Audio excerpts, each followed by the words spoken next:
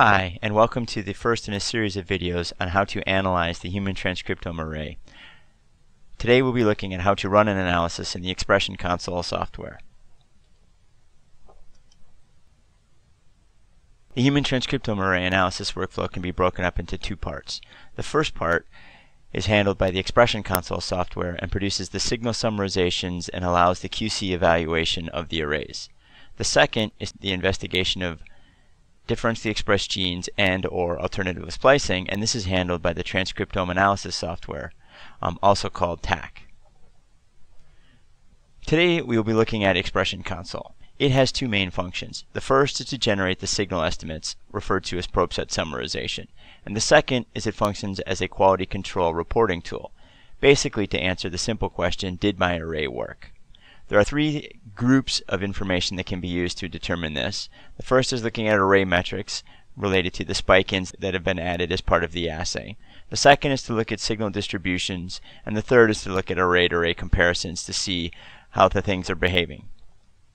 Today we'll be looking at the probe set summarization that's used to generate the signal estimates.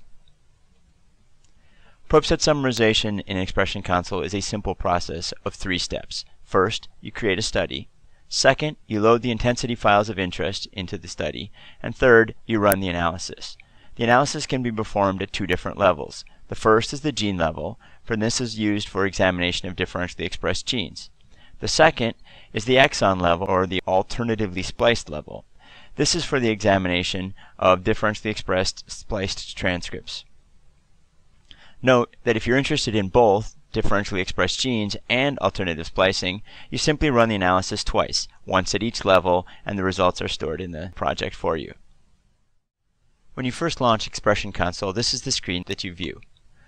After installation, you'll be guided through to select the library file folder, which is simply a folder that you're going to use to store your files.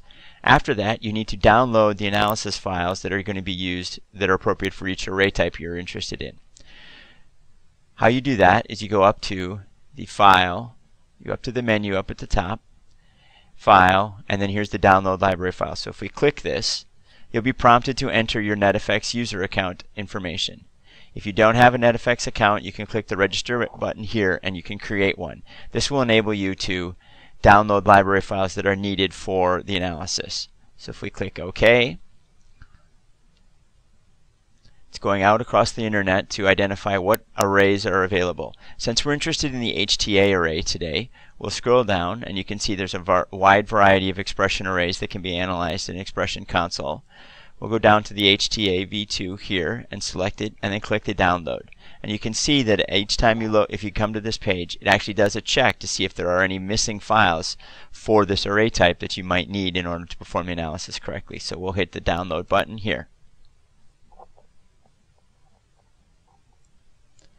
While the files are downloading, I'm going to introduce you to, to a couple things about Expression Console. If you look down here in the window, this is the message window which will tell you um, information about what is going on in the project, the progress of the analysis, and that sort of things. Second is that within Expression Console there are basically three ways in which you can do things. The first is there's a toolbar up here with a couple of buttons or icons which will allow you to quickly um, move through the various functions you need. Second is are the menus that you've seen before that have the various pull downs options. And the third is over here along the right hand side there is a toolbox which basically step you through all of the pieces that you are needed to perform an analysis in Expression Console. I like to follow along with the toolbox, but as I say, each person has their own different way to work their way through the analysis and find what's comfortable for you. So the first step, after you've downloaded your library files, is to create a study. Second is you're going to be adding cell files into this study.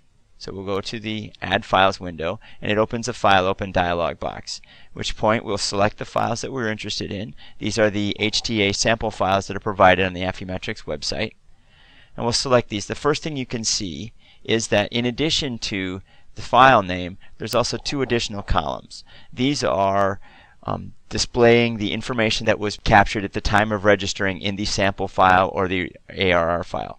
So during registration, you're prompted for attributes or pieces of information that you might choose to enter. If you do that, these in, that information will be displayed here. And we select Open, which will now add the files into our study. Now the next step is to simply run the analysis. And there's an analysis run button right here. We'll click that and you can see that you have two options. There is the gene level analysis and the exon level alt splice analysis. This point you select the analysis level of interest. We'll do the gene level analysis and hit OK. You will be prompted if you choose to add a suffix to your name, uh, to the file name. Um, you can do so at this point. Otherwise you can just click OK. And you can see down here the status window here is updated with messages saying that the analysis is beginning and that we're beginning to open the files.